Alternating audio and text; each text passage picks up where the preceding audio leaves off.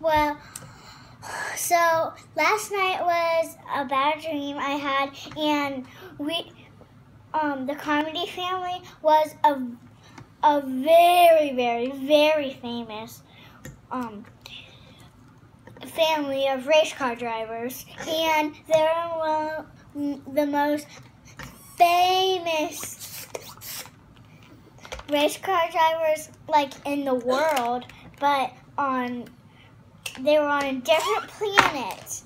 And they didn't know that, but they were in a really high water to- tower up in up in the clouds Mm-hmm. in outer space.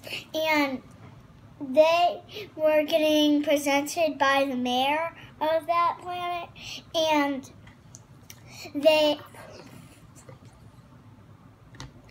there there was a giant roller coaster next to it. It's called the Forgotten, and if you go on it, um, you you get forgotten by everyone, and you stay there forever. It's impossible to get out, and you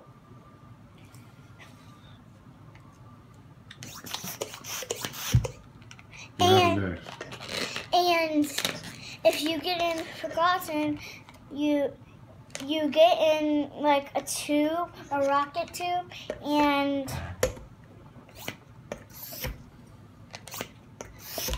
Yeah. and there's like